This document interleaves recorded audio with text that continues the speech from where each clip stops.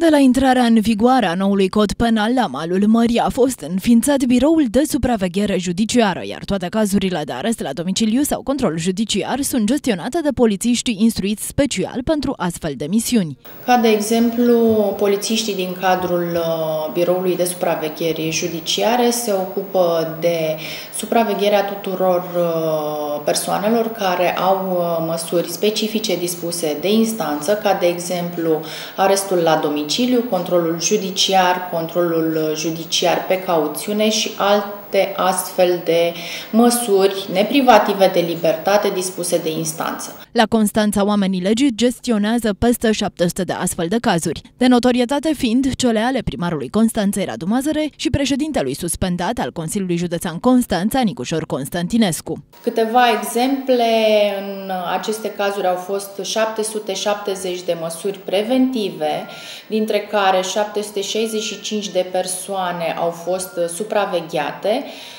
Pot spune că 121 de persoane au fost supravegheate în timp ce se aflau arestate la domiciliu, 11 fiind în control judiciar pe cauțiune și 556 pe control judiciar și alte 72 de persoane uh, cu alte obligații dispuse de instanță. Polițiștii judiciari sunt și cei care înștiințează instanțele de judecată în momentul în care arestații nu respectă condițiile. Zeci de cazuri s-au întors pe mesele magistraților și au fost înlocuite cu alt gen de măsuri privative de libertate, spun oamenii legii. Controlul judiciar și arestul la domiciliu sunt considerate de către specialiștii în drept măsuri de încredere a instanței cu beneficii pentru inculpați, dar și pentru sistemul judiciar. Persoanele cercetate penal cu astfel de măsuri nu sunt obligate să ia contact cu duritatea centrelor de detenție. În plus, aresturile sunt și așa destul de aglomerate și necesită costuri mari, pentru că pentru fiecare persoană trebuie să se asigure hrana, paza, asistența medicală, transport la instanță pentru termenele de judecată.